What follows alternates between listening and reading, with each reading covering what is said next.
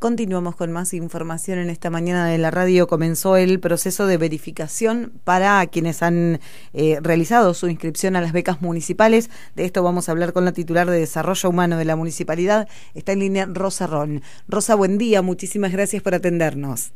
No, buenos días Andrea, gracias por comunicarse. Rosa, bueno, eh, ¿cómo fue el proceso de inscripciones y cómo sigue la gestión para poder otorgar este programa de becas? Sí, bueno, el proceso de, inscripción, de preinscripción, que duró todo el mes de, agosto, dio como resultado alrededor de 1.400 becas este, de iniciación de que han iniciado la preinscripción. Eh, así que bueno, para nosotros la verdad que es, es este, una recepción muy buena que se ha tenido del programa.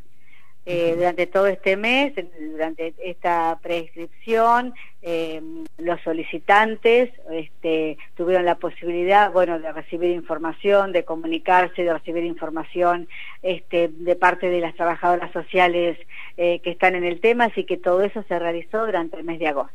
Y ahora, a partir de ayer, este primero de septiembre, cierra este, el sistema cierra ese proceso de inscripción y se pasa a la segunda etapa que es la de verificación de los datos, que es en la que estamos ahora actualmente. Esto lo realizan cada una de las trabajadoras sociales por los, de los distintos circuitos, este, toman sus becas, van revisándolas, este, verificando los datos una por una en el, en el sistema y allí le van a estar informando la situación del trámite. Por medio de este el mail del link del mail donde ya se han comunicado previamente. Eh, entonces le va a estar llegando a cada solicitante le va a estar llegando este a ese link un mail donde si el trámite está completo les va a aparecer la descripción trámite completo y que continúa su curso. Y si no les va a estar llegando un mail donde eh, hacen referencia a la documentación que falta adjuntar para que vayan completando el trámite en el término de este mes. Bien, es un mes más, eh, el proceso de verificación es el mes completo, digamos. Nosotros vamos a estar, este, sí, teniendo el, mes completo de verificación, más allá que los trámites completos se van a ir ya formando los expedientes para que no haya pérdida de tiempo, pero este, vemos que eh, la posibilidad de hacer la verificación y la adjuntar la documentación asaltante durante este mes. Bien. este, directamente les va a llegar ese mail, que estén atentos a eso, lo que pedimos que estén atentos a eso, a su, que revisen este, diariamente o con continuidad la, la, su casilla de mail, que revisen en, en, el spam, que revisen, que estén atentos a, la recepción de ese mail. Bien. Eh, Rosa, en caso de cumplir con todos los requisitos, ¿todas las personas eh, acceden a la beca? Sí, nosotros en principio estamos este, eh, este, viendo si la documentación completa, em, este, si está la documentación completa, ese, van a recibir un mail donde dice que la documentación, que el trámite eh, ya está, que la documentación está completa, que el trámite sigue su curso. A partir de ahí, después de todo el periodo de verificación, va a haber una tercera etapa donde sí se les va a comunicar si accedieron o no a la beca. Eso en otra instancia. Bien, también depende ¿Eh? de aquí, de, digamos, todo depende del municipio en este caso.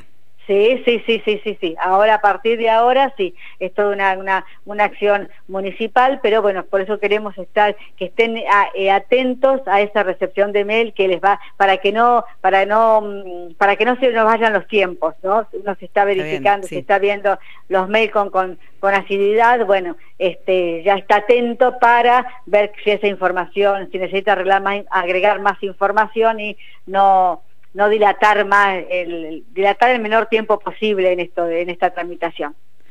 El pago de las becas en este caso se extendería hacia octubre, noviembre.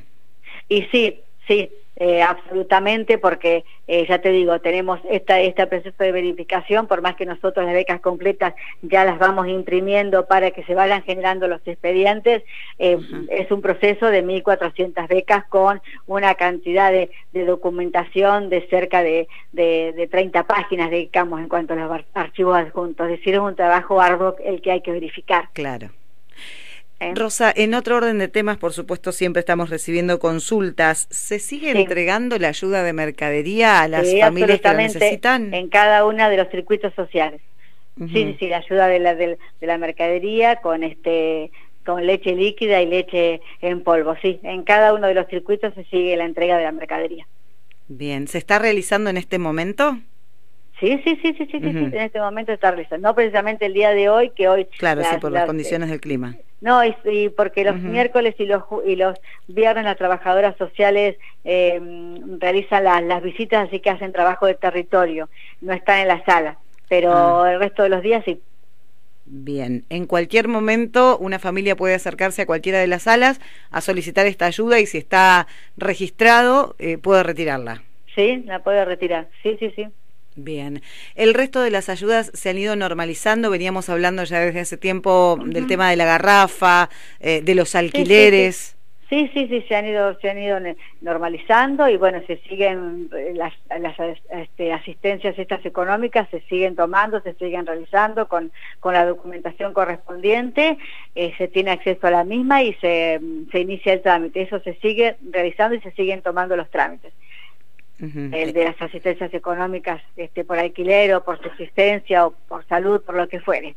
Está abierta la posibilidad de iniciar nuevas y se continúan entregando las ayudas que ya venían desde antes. Exactamente, exactamente. ¿Hay un número determinado de cuánta es la gente que hoy, por ejemplo, en este contexto está recibiendo ayuda para alquiler?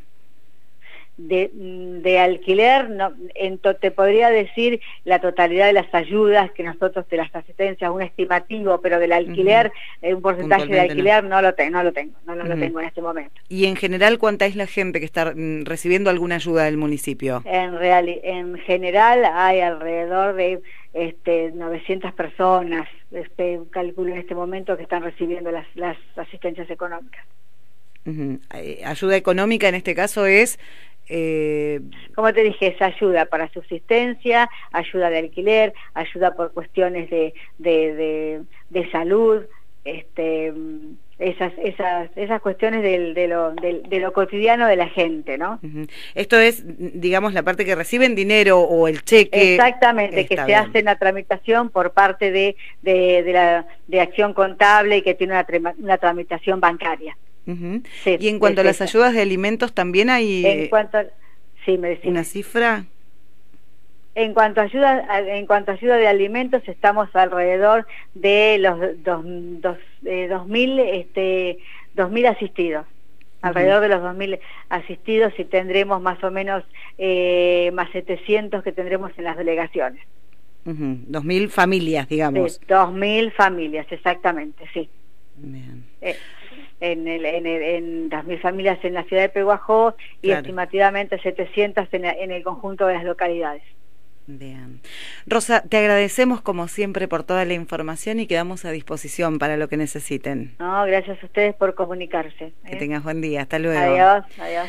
Rosa Ron, la titular de Desarrollo Humano de la Municipalidad. En octubre o noviembre los alumnos que se inscriban a la beca municipal podrán recibirla. Todavía se está realizando todo el trámite administrativo para poder determinar quiénes la van a recibir. Por otra parte, se sigue trabajando en diferentes ayudas. Hay aproximadamente 900 personas que reciben cheque, dinero para el pago de diferentes cuestiones eh, de, sus necesidades dentro del distrito y unas 2.700 personas, eh, familias en realidad en todo el distrito que reciben su bolsa de alimento.